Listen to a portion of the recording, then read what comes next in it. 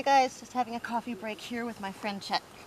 So I posted a video a couple days ago of me playing with my longer rope, kind of explaining why I play with the long rope and what I choose to use it for.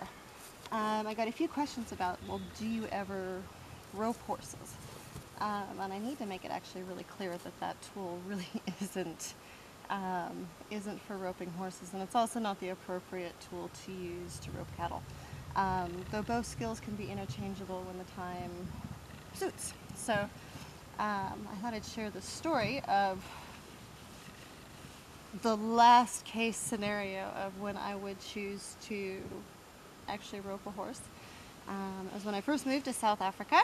Um, Gareth and I were training a bunch of Basuto ponies and um, there was a, a, huge herd of Basuto ponies, and we um, had we were selecting so many every month that we had to bring in for training, and each you know the, the pickings were slim as far as training horses for that would be suitable to take horses on, or take guests on trail rides.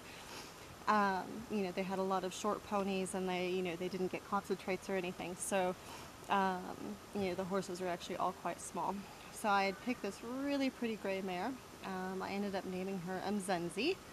Um, and Zenzi taught me a thing or two and was a great um, demonstration of why I learned to handle a rope. Um, and I was so grateful for all the roping lessons I had back in Colorado. So Zenzi being, you know, nice, square, stocky little pony would have been ideal for doing trails.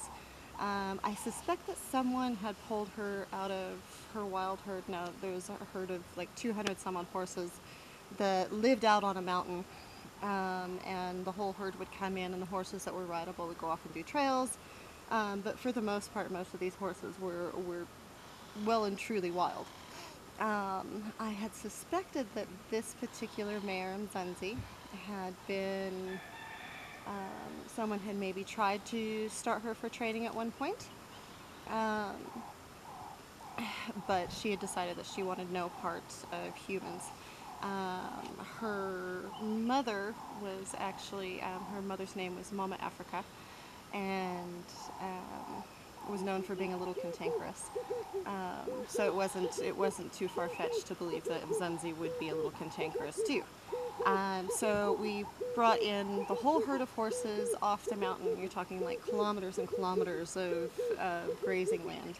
Um, brought the whole herd in. I selected the horses that I want, um, and so I think Mzanzi was the first one that I wanted that day and so we pushed the, you know, kind of separated off a bit of the herd and a bit of the herd and a bit of the herd because these horses were so wild you couldn't approach them. Um, and pushed her into the round pen and I thought, well, I'll, I'll kind of round pen her a little bit, you know, get her to hook on and then, you know, smooth sailing from there. And 14 hours later, I still hadn't had this horse caught. Um, I would go to catch her and things would go really good. Um, and she would just literally tear the round pen apart, crawl through. I think it was a six foot high round pen with like five rungs. Um, and she pretty much dismantled the thing. And so, like, you know, we get her back in and we put the rails back up, and, um, you know, it was just, you know, kind of a, it was almost a joke.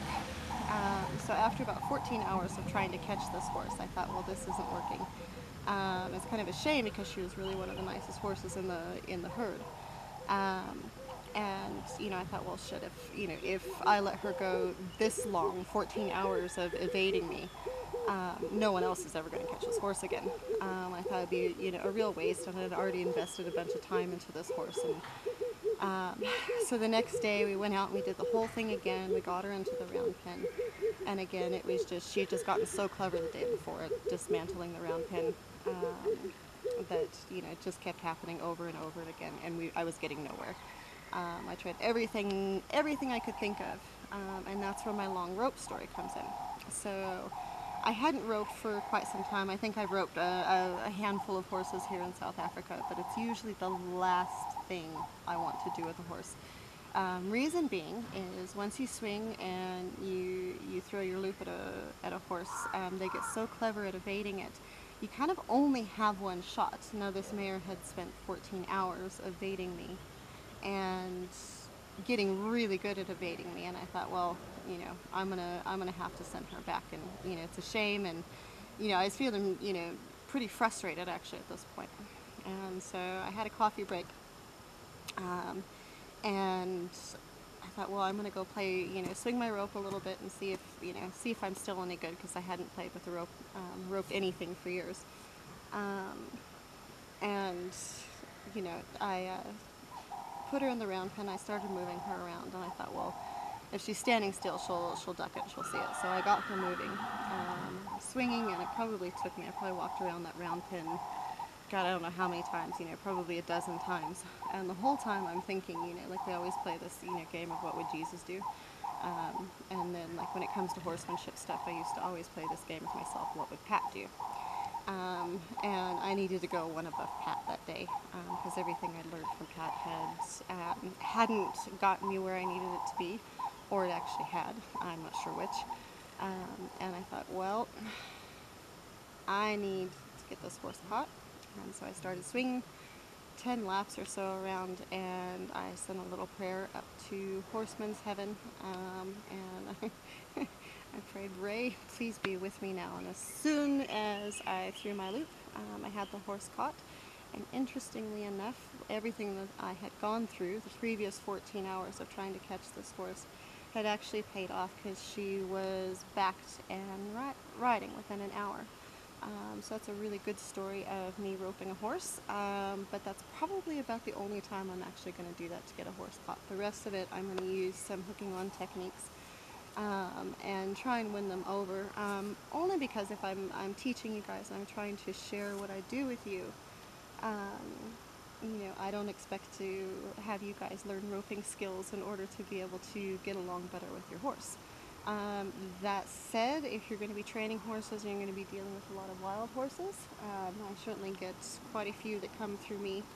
I think probably in the last decade, you know, I, Gareth and I have probably handled thousands of wild horses. Um, you know, it's been a really good skill to have, and I'm grateful for it, and I'm grateful um, that little prayer I sent up to Ray that day certainly paid off for me. So there, that's where I would use roping um, as a skill for horsemanship. Um, for the most part, I still want to use a little bit of relationship and retreats um, to get these guys won over. Um, and that's a worst case scenario, but I'm glad that I have the skill. Hope you guys enjoy my story.